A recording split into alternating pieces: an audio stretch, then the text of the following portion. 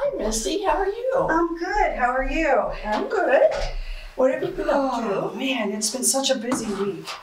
Between school and work and getting stuff done at church, I'm just, I'm ready for a break. You're overwhelmed. I am, I am. And I just feel like I don't have time to get into the word and that bothers me and, you know, it's just a lot going on.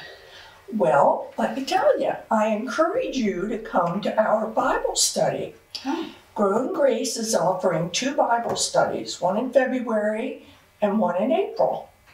Oh, wow. What are, are they on like specific books of the Bible or? Here's the first one, Colossians. In fact, you may borrow that if you want to. Oh, thank you. And the second one is Ephesians. Oh, that sounds great. So when are they? They're every Thursday, morning and evening, 10:30 in the morning and I believe 6:30 in the evening. Oh, that'd be great. Now, what if I can come one time and not the other? That works because they'll be the same. The Oh, morning okay. and the evening will be the same, so you can come whenever it suits you.